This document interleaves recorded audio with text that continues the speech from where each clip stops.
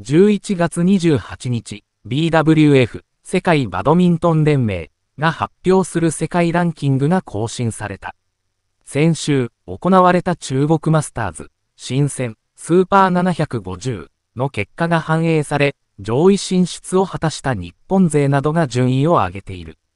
ここでは男女シングルスの変動を紹介する。男子シングルス、ビクター・アクセルセン、デンマークが10万5655ポイントで1位を独走。熊本マスターズ優勝後の中国マスターズは欠場したものの、順位に大きな影響は出なかった。そのアクセル戦に大きく差をつけられた2位は、8万6031ポイントのアンソニー、エスギンティン、インドネシア、だ。中国マスターズ優勝で1万1000ポイントを手にした奈良岡広大が2ランクアップの3位に再浮上。2位のギンティンとの差はわずか716ポイント。2位の背中がはっきりと見えている。日本勢は中国マスターズ準優勝の西本健太が9350ポイントをつかみ、1ランクアップの12位、同ベスト4の常山寛太が2ランクアップの13位と2番手争いの2人が並ぶ形に。その差は2486ポイントだ。4番手は B 代表の渡辺幸輝、23位。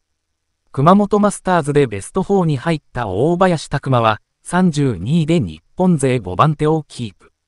同ベスト8の桃田健人は37位につけている。女子シングルス、熊本マスターズから戦線復帰を果たしたアンセヨン、韓国が11万3314ポイントで1位をキープ。中国マスターズは2回戦敗退に終わったが、順位に影響はなかった。熊本と中国の2大会を欠場した山口茜と中国のチームヒ、チェンユーフェイ、神写真の順位が入れ替わり、中国マスターズ優勝のチンウヒが2位、山口が3位となった。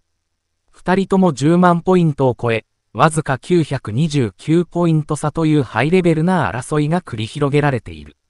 4位の大使 A、台通院、台湾は9万ポイント台、5位のキャロリーナ・マリーン、スペインが8万ポイント台で追っている。